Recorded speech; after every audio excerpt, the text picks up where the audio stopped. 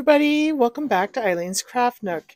Uh, so it's been a bit since I put out a video. I uh, went on a trip to take my mom to Florida and I just kind of took a break when we got back. So, um, but I want to get back into it. So today I want to make uh, one of the paper towel holders. Now I didn't have the proper mold for it, but I do have this one and this does fit into it as you can see. The only thing is it will have like a lip, which is fine with me. So what I'm going to do is I'm going to pour this in two layers. I'm going to do the first layer to cover this, and then I um, cut out some uh, craft paper. Uh, I think I got it from Michael's.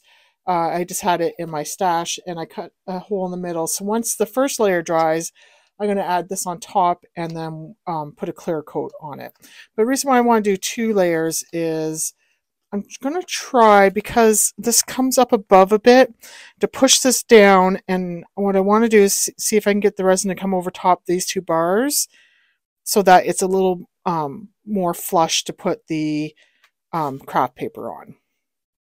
So I've mixed up my resin. I have this snowflake uh, confetti that I picked up at a the Dollarama, which is a dollar store we have here in Canada. And I'm going to add that to the resin um, so that the bottom, when you look at it from the bottom, it looks um, wintry or Christmassy as well as from the top. So I'm just going to open this up and I'm going to dump some into my resin.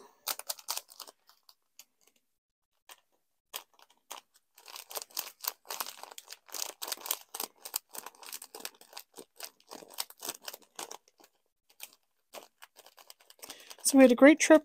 Took us we took three days to go down because we were pulling the trailer, the fifth wheel, so it, it took a bit longer and then we took two two long driving days coming back. But um it was uh, a nice trip. It was my son's first time going to the United States. So that was nice. Okay, I'm going to add a little bit of I think I'm going to add a little bit of glitter to this as well. Okay, so this is my uh, glitter from Recollections called Snow. I'm just going to add some of that in. Let's give it a little bit of sparkle. Go with those snowflakes.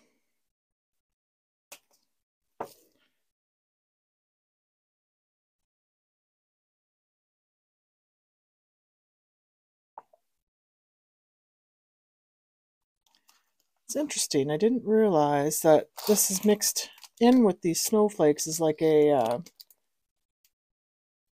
like a clear mm, cellophane, which would show up nice on black. It's not going to show up much with the clear, but I do want my snowflakes to show. So I'm going to add a little bit more so I can get more snowflakes in there.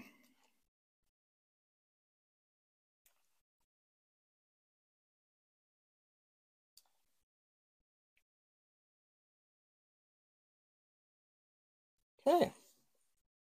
So I'm going to pour a little bit in, and then I'm going to add the the um, paper towel holder. I'm going to add some all right, my microphone quit working for some reason at this point, so I'm just going to finish off this section with a voiceover. Uh, here I'm just filling in the resin. I want to make sure it's down into those, into the rim of this tray. Make sure that there's no bubbles in there that may cause a hole. So I'm just kind of spreading around and uh, just going around, make sure that there, there's no bubbles in there. And then I'm going to put my paper towel holder in there. I'm giving it a push down. Um, I'm hoping that, you know, it kind of goes into the, the, the rim a bit. Uh, I'm going to add the resin on top. Uh, I'm trying to get it as flush as possible so that when I put the paper on, it has a flat surface to, smooth surface to go on. But now that I'm working on this, I'm pretty sure this is not going to work out. It's just not enough room.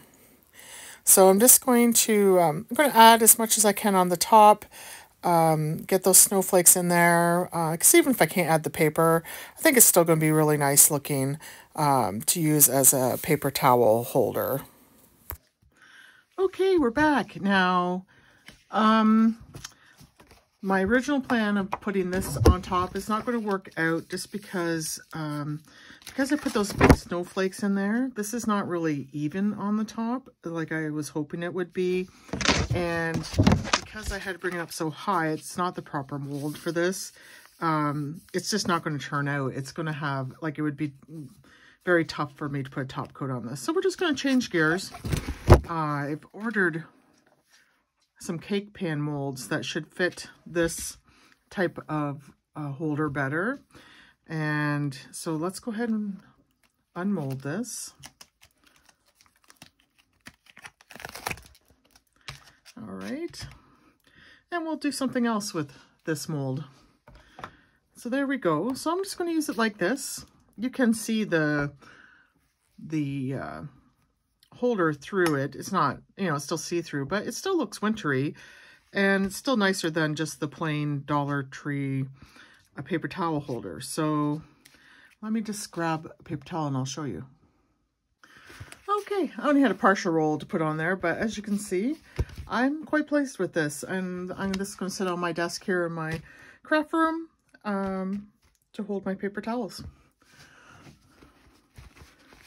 All right, thanks for joining me. We'll see you in the next one.